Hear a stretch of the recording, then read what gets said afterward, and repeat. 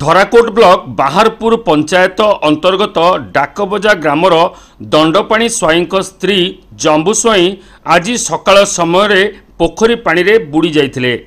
ତାଙ୍କୁ ଉଦ୍ଧାର କରି ଚିକିତ୍ସା ନିମନ୍ତେ ଧରାକୋଟ ସ୍ୱାସ୍ଥ୍ୟକେନ୍ଦ୍ରକୁ ନେଇଥିଲେ କିନ୍ତୁ ଡାକ୍ତର ସେଠାରେ ତାଙ୍କୁ ମୃତ ଘୋଷଣା କରିଛନ୍ତି।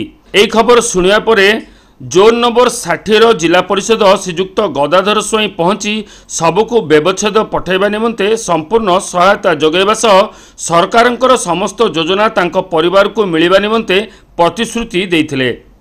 ବ୍ରହ୍ମପୁରରୁ ଅଶେଷ କୁମାର ପାତ୍ରଙ୍କ ରିପୋର୍ଟ।